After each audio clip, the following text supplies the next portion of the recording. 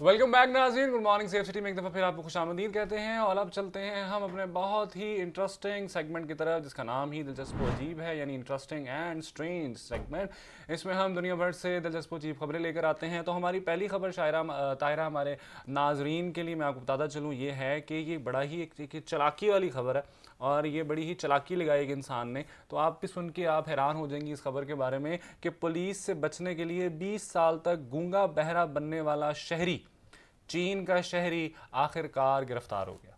अच्छा और ये, बहरा क्यों बना ये रहा? बड़ी इंटरेस्टिंग खबर है कि 2004 के अंदर इसकी इसके पड़ोसी के साथ लड़ाई हुई थी।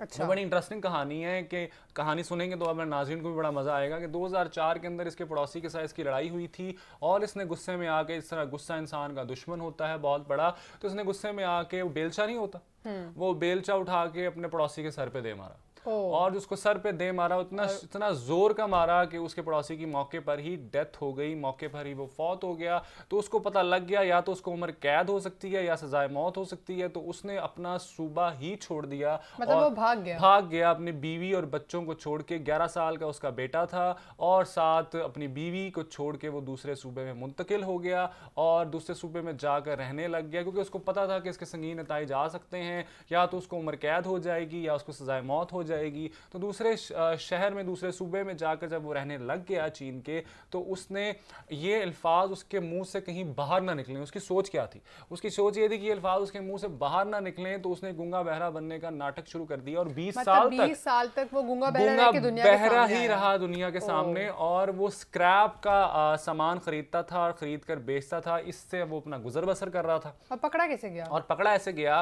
कि वहाँ पर क्योंकि इंसान की जो नेचर है ना वो इंसान थोड़ी देर के लिए कंट्रोल कर सकता है, लेकिन उसको सारी ज़िंदगी के लिए दबा नहीं सकता। तो उसकी झगड़ालू नेचर थी। और साल उसने हाँ, बड़ा टाइम होता उसकी एक झगड़ालू नेचर थी और नहीं पहले भी वो लड़ता था लेकिन वो उसकी जो लड़ाई है वो पुलिस के सामने नोटिस नहीं हुई। वहाँ भी वो लड़ता था। तो उसकी झगड़ालू नेचर थी वो झगड़ता लड़ता रहता था। तो एक दिन ऐसा हुआ कि झगड़ा हुआ तो मकामी पुलिस ने उसको थाने में ले गई। थाने में लेके जाके उनकी कुछ फॉर्मेलिटीज़ होती हैं पिक्चर्स वगैरह खींचते हैं लेकिन उस वक्त तो वो छूट गया मौके से। लेकिन फिर पुलिस के ने उसके रिकॉर्ड को मैच किया जब उसकी तस्वीर एक उनके प्रोसेसिंग डाटा से गुजरी। तो उस पुलिस को पता लगा चीन की पुलिस को कि ये तस्वीर तो 2004 में भी हमारे पास थी और ये सेम तस्वीरें हाँ सेम सेम तस्वीरें हम्म। आपस में रिजेंबलेंस रखती हैं। बहुत ज़्यादा उन दो तस्वीरों की आपस में रिजेंबलेंस थी तो पुलिस हरकत में आ गई। वो फ़ौरन उस बंदे के पास पहुँची और उसने बिना कोई चूचा किए अपना जुर्म का एतराफ़ कर लिया। जब उसको उसके और ऑप्शन नहीं था। सो 20 साल तक तो वो बचा रहा आपने मतलब कर, कत्ल करने के बाद भी लेकिन उसके बाद पकड़ा गया। सो जब आई होती है तो किस देखे किस तरह से इंसान पकड़ा जाता है। सो मेरा ख्याल है गलती अगर हो जाए तो इंसान को तस्लीम कर लेना चाहिए। बीस साल अपनी फैमिली से भी दूर रहा इतना छोटा बच्चा और इसकी फैमिली सो और वो एक तो गलती नहीं नहीं करें आप अगर हो जाए तो और वो सोचता भी था कि मेरे बच्चे मेरा बच्चा ग्यारह साल का था मैं छोड़ के गया। अब वो इकतीस साल का हो गया कैसा होगा मेरी बीवी कैसी होगी? तो ये तमाम ख्याल उसके जहन में आते हैं लेकिन उसने अपने जान बचाने के लिए उसने ये किया जो मैंने आपको सारा सिनेरियो बताया। हाँ तो लेकिन ये कि ऐसे इससे नतीजा निकलता है कि गलती आपको तस्लीम कर लेनी चाहिए जो भी आपसे हो कॉन्सिक्वेंसेज तो जो भी हो बाद में फिर इतनी लाइफ उसकी मुश्किल गुजरी। गूँगा बहरा रहना कोई आसान काम नहीं होता और अपनी नेचर के अगेंस्ट जाके। सो खैर अब चलेंगे हमारे अगली, पास हाँ, अगली खबर क्या है वो जरा हमारे पास है वो आपसे शेयर करते हैं।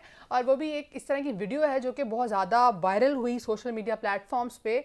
और वीडियो क्या थी कि खातून हवाई जहाज़ के वो जगह जहाँ पे सामान रखा जाता है वो खातून वहाँ जाके लेट गई। कैबिन हाँ जो, जो कैबिन होते हैं। लगेज कैबिन होता है। लगेज कैबिन होते हैं वहाँ पे जब आप सीट पे बैठते हैं तो अपने लगेज को कैबिन में रखते हैं।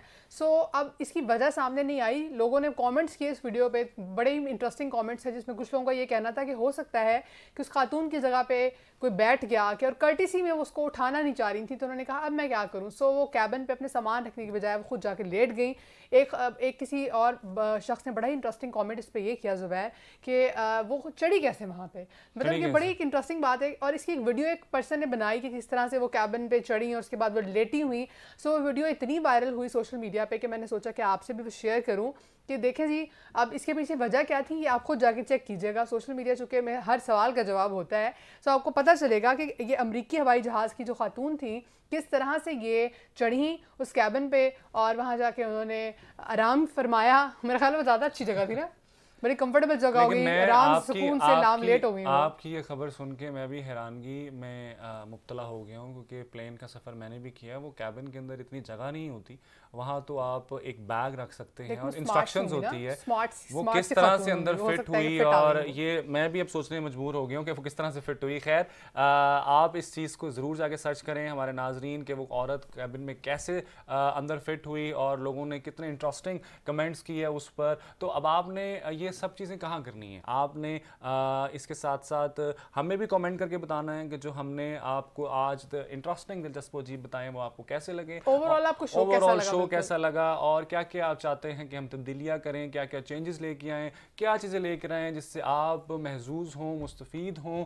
तो आपने ये सारी चीज़ें बतानी हैं। हमारा ट्विटर अकाउंट है P S C safe cities हमारा फेसबुक अकाउंट है पंजाब सेफ़ सिटीज़ आप हमें यहाँ पर कॉमेंट कर सकते हैं हमारे प्रोग्राम को शेयर कर सकते हैं और हमें बता सकते हैं कि हम क्या बेहतरी ला सकें प्रोग्राम के अंदर। बिल्कुल तो ये था जी हमारा आज का शो कल किसी नए शो के साथ, कुछ अच्छी बातों के साथ दोबारा की खिदमत में हाजिर होंगे। अपना बहुत सा ख्याल रखिएगा। अल्लाह ने के बाद